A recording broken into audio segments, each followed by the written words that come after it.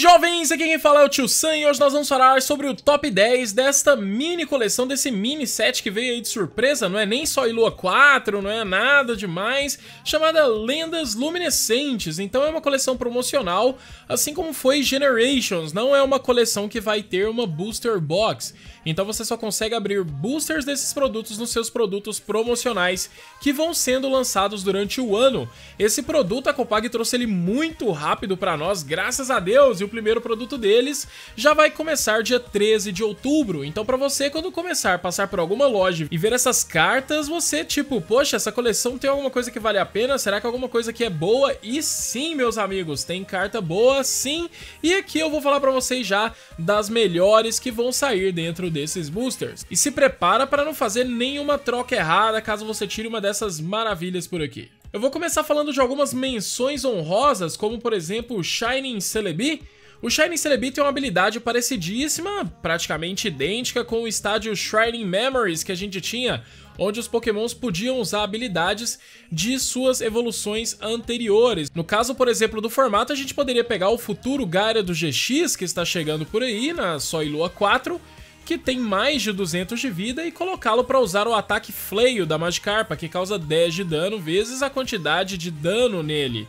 Então Gyarados, por uma energia apenas de água, conseguiria colocar um monte de dano para cima do seu oponente. É uma das opções, mas a habilidade do Celebi vai servir para diversos outros pokémons. Outro pokémon que também é muito interessante é a Shiny Lugia, mas como ela não sai nessa coleção, foi retirada do set em inglês, ela saiu no set japonês convencional, mas para nós no set em inglês, ele vai sair na coleção Shining Legend Super Premium Collection, que é um produto daqueles, né, que vem com miniatura, um monte de booster, caixas com divisórias esse produto da última vez ele não foi traduzido pela Copag, então eu não sei como a gente vai receber essas cartas aqui futuramente no Brasil, mas ele não vem dentro do booster. Então vamos focar o nosso top 10 nas cartas dos boosters. Como uma última menção honrosa, eu queria falar do Reshiram. Ele tem aquele ataque Outrage básico, né, que a gente já conhece ele desde a Black and White. Por duas energias incolores ele causa 20 de dano, mais 10 para cada dano ligado nele. Como ele tem 130 de vida, é um pouco interessante. Ele não é afetado pelo ataque do Golisopod por um hit. E, melhor de tudo, seu segundo ataque Scorching Breath, por duas energias de fogo e uma incolor, ele consegue causar 130 de dano. Isso quer dizer que ele nocauteia o Metagross GX atualmente no formato e também o Golisopod GX com apenas um ataque graças à sua fraqueza. E ainda é um atacante não X, não GX, então eu acho que em qualquer deck de fogo é uma baita de uma adição sim. Mas chega de enrolar, vamos começar o nosso top 10 e na décima colocação tem o Mewtwo GX com seu primeiro ataque Full Burst, uma energia psíquica, 30 de dano vezes para cada energia ligada neste Pokémon. Eu acho que esse é a grande chave dessa carta e o grande problema dessa carta é, ele é um básico que poderia cavar um dano muito grande, assim como a Gardevoir GX faz, tem 190 de vida, deu uma pseudo melhorada, porém o problema dessa essa carta é apenas Garbodor. Com apenas uma energia, o Garbodor dificilmente não vai conseguir nocautear esse Pokémon. E nessa troca de um Pokémon batendo na fraqueza do outro, o Mewtwo GX dá dois prêmios, enquanto o Garbodor, mesmo não sendo básico, dá apenas um prêmio. Mesmo tendo um ataque muito bom, seus outros ataques não chamam tanto atenção assim. Para você conseguir fazer um Mewtwo muito grande, causando muito dano sem medo de Garbodor, eu acho que o formato vai ter que mudar um pouco. Seu segundo ataque, Super Absorption, por, uma energia psíquica e uma incolor, ele causa 60 de dano e cura 30 dele mesmo.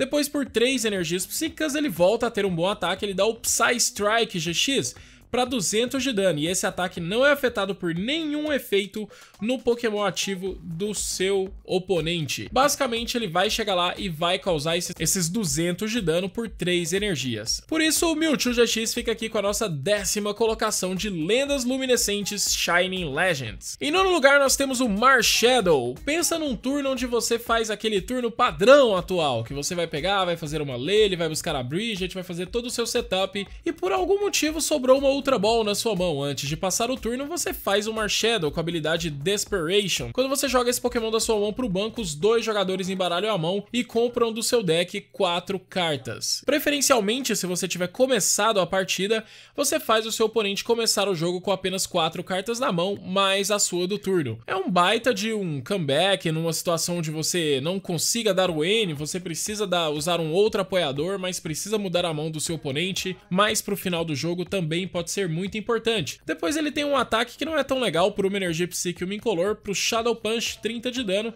e não é afetado por resistência, mas a sua habilidade pode ser que seja útil em diversas situações do jogo. Oitavo lugar nós temos o Keldel, na sua versão regular, com 110 de vida, essa criança por uma energia, ela bate com Bow Out, coloca uma energia de água da sua pilha de descarte na sua mão. Depois ele tem o ataque Resolute Blade por duas energias de água. Esse sim é o que há, porque você pode fazer ele com fragmento aquático, mais uma energia de água, do nada você constrói um Keldel e o ataque causa 20 de dano mais 20 para cada um dos seus dos pokémons no banco do seu oponente. Então, caso ele tenha ali 5 pokémons, você consegue causar 120 de dano por duas energias. É um excelente atacante, não X, causa apenas um prêmio para causar aí 3 dígitos de dano no seu oponente. Ele pode surgir do nada a qualquer momento. E os decks continuam ainda com uma fraqueza água aí, né? O fogo ainda não parou de respirar nesse formato. Então o Keldel se torna uma arma extremamente importante e muito fácil contra esses decks. Na sétima colocação temos o Shining Genesect. 130 de vida já deixa ele mais uma vez, assim como o Reshiram, como algo que não vai ser nocauteado para vários ataques, assim como o ataque do Golisopod GX. A sua habilidade faz com que ele puxe uma energia de grama para ele a qualquer momento. E o seu ataque é aquele ataque clássico, a gente já teve ele no Trevenant X, por 3 energias incolores ele bate 50 mais 20 para cada energia de grama ligada nele.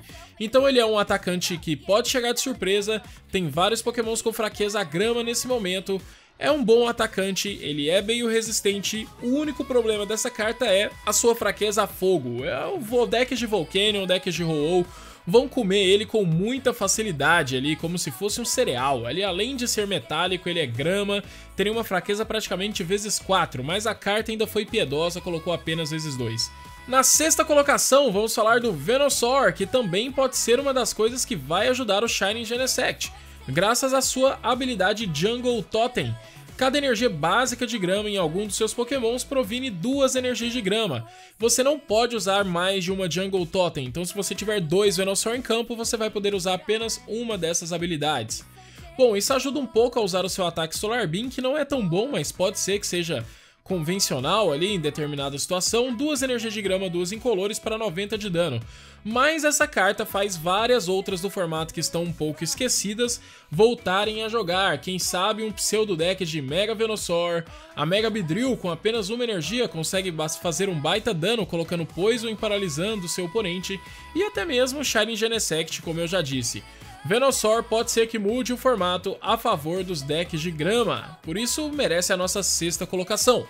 Na quinta colocação temos o Raikou, que é basicamente um Yveltal elétrico, aquele Baby Yveltal que a gente sempre acostumou, que por uma energia batia 30 e ligava uma energia noturna da pilha de descarte em um dos seus pokémons do banco, agora faz a mesma coisa pro lado elétrico, ligando energias elétricas da pilha de descarte. Ele também tem um ataque por duas energias elétricas e uma incolor, o Electric Ball, para 90 de dano. Esse primeiro ataque vai ajudar muito o Raikou em diversas situações em vários decks elétricos, quando você perder um pouco de força no no meio do jogo, quando você estiver no final do jogo sem conseguir recuperar suas energias, Pode ser que mude a sua decklist, já que você tem a opção de recuperar energias, assim como o Yveltal fazia ali, diminuindo um Super Bastão, diminuindo um Energy Retrieval, o Raikou vai entrar dessa mesma forma nos decks elétricos. Carta extremamente forte na minha opinião, fica aqui com a nossa quinta colocação. Em quarto lugar temos Rupa, com 120 de vida e do tipo noturno, ele tem a mesma habilidade que o, o Ninetales tem nesse momento, sem ser o GX, claro, que não toma dano de nenhum Pokémon GX ou X, só que agora nós temos essa mesma habilidade não em um estágio 1, agora nós temos em um básico. Então pode ser que seja uma baita muralha, pode ser que dificulte muito a situação de vários decks, vários decks tenham que optar por algum atacante não X, não GX, por conta da presença do Rupa no formato, e é muito fácil de utilizá-lo. Por uma energia noturna e duas incolores, ele pode dar o Super Psy Bolt para 80 de dano. Eu sei que decks como Gardevoir utilizam atacantes como Gallade, que atacariam inclusive na fraqueza do Rupa, mas se você já tiver se livrado do Gallade, basicamente o Rupa segura o restante do deck da Gardevoir inteiro, então é uma carta que vai dar muito trabalho no formato. Se cuide aí e cuide do seu, a arte dele também está incrível. Começando o nosso pódio, na terceira colocação temos o Raichu GX, do tipo elétrico 210 de vida.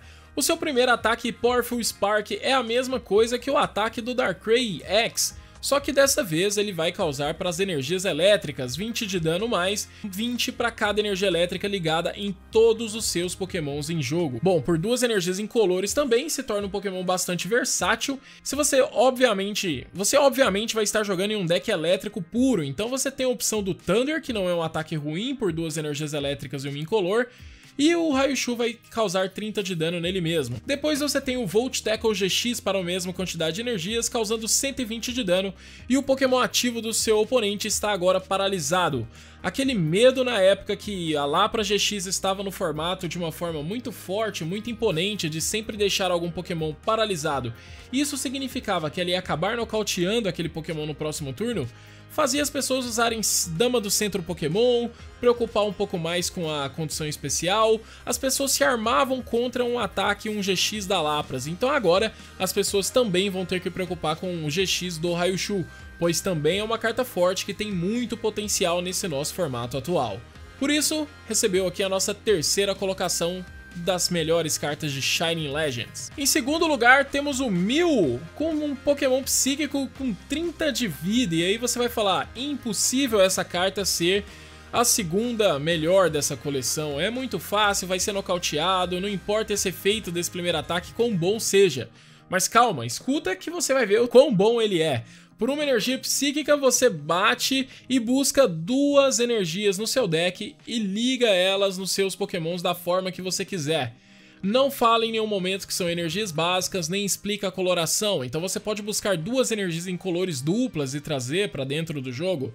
Então você seca um pouco o deck, faz algumas coisas que também são muito interessantes, como o seu oponente nocautear o Mil mesmo. A gente sabe que Counter Energy está vindo por aí, Counter Catcher está vindo por aí, então não tem problema algum seu oponente ter um prêmio a menos que você ali, vai te dar algumas vantagens com as futuras cartas que vão vir em Só e Lua 4. Por isso acho que Shining Mil, além de ser uma carta da, da nomenclatura Shining, que não é muito fácil tirar dentro dessa coleção, é uma excelente carta que acho que junto com a Só e Lua 4 vai jogar demais, por isso merece a nossa segunda colocação Shining Mill. Em primeiro lugar temos ele, Zoroark GX, do tipo noturno com 210 de vida. Um estágio 1 que tem agora uma habilidade de Draw Power. Nós estamos acostumados com Pokémon como Octillery, nós estamos usando bastante Oranguru, e agora nós temos uma opção de esses Pokémons compram cartas, mas eles não têm ataques tão bons, apesar de que algumas pessoas gostem do ataque do Oranguru. Mas o Zoroark é totalmente diferente. A habilidade dele Exchange, uma vez durante seu turno, você pode descartar uma carta da sua mão e comprar duas cartas. Isso já é sensacional a qualquer momento do jogo, e isso serve para qualquer deck, não importa, mesmo que seu deck não utilize pokémons noturnos, pois ele, assim como a Tapulele, ele tem um ótimo ataque utilizando apenas energias incolores, que você pode utilizá-lo a qualquer momento em jogo. Riot Beat por duas energias incolores causa 20 de dano vezes cada Pokémon que você tem em jogo. Então se você tiver 6 Pokémons, os seus 5 no banco e um ativo, você vai causar 120 de dano por apenas duas energias. Pode ser que em determinada situação você não tenha muito o que fazer. Lembrando que se você for um deck de grama e tiver um Venusaur em campo com apenas uma energia, você já consegue causar esse dano com o Zoroark. Caso você esteja em realmente um deck noturno, você pode utilizar o Trickster GX por duas energias noturnas. Você escolhe um Pokémon do oponente, qualquer ataque dele e utiliza. Você não pode usar mais de um ataque GX no jogo, então mesmo que você copie um ataque GX, você acabou de usar um GX, então você não vai poder reutilizá-lo, mas por duas energias noturnas você pode utilizar um ataque muito mais caro, que peça muito mais energias e que seja muito mais significante. É um pouco problemático, pois você depende do seu oponente ter alguma coisa boa em campo, mas De toda forma, é o novo Draw Power, viu pessoal? É muito forte isso e também tem um excelente ataque por duas energias incolores. Sua fraqueza a lutador fica meio estável ali, a resistência psíquica ajuda bastante nesse momento. Custo de recuo 2 é um pouco pesado, mas como é um Pokémon que aceita Double e provavelmente vai entrar em quase todos os decks que estão utilizando a energia incolor dupla, ele se torna um Pokémon excelente. Bom, pessoal, esse foi o meu top 10 das melhores cartas de lendas luminescentes, a nossa Shining Legends. Se você não concorda, tem alguma carta que você acha que é muito interessante e não entrou nesse top, não esquece de deixar nos comentários para que outras pessoas que vieram aqui buscar saber quais são as melhores cartas da coleção saibam da existência dessa outra carta também. 13 de outubro a Copag já está trazendo para nós, então espero que esse vídeo tenha facilitado um pouco e agora você saiba o que pode ser mudado no formato com a chegada dessa coleção, tá bom? Para tirar uma dúvida base também, esta coleção não vale no regional que vai acontecer em Minas, tá? Em Belo Horizonte. Então fiquem tranquilos, nos próximos torneios já vai estar valendo. E aí, você acha que Shining Legends é uma coleção bonita o suficiente? Você tá animado para comprar esses blisters que a Copag tá trazendo para nós, com essas cartas promos exclusivas? Eu vou precisar ter pelo menos uma de cada. Eu espero que vocês estejam animados também com essas coleções promocionais, assim como eu fico. Muito obrigado, espero ter tirado todas as dúvidas de vocês. Espero que vocês estejam passando por um ótimo dia, fiquem com Deus e Brofist dos Brothers para encerrar. Tchau, tchau, até a próxima!